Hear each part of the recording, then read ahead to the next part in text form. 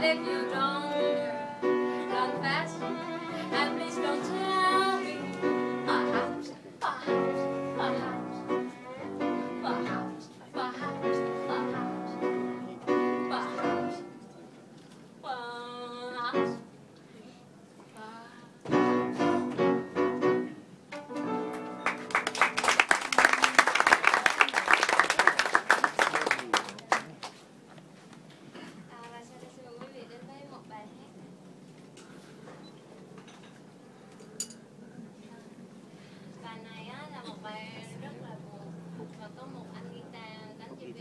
bán cho chị đánh bài này luôn bởi vì nó buồn quá nhưng mà đi mà này với một bài hát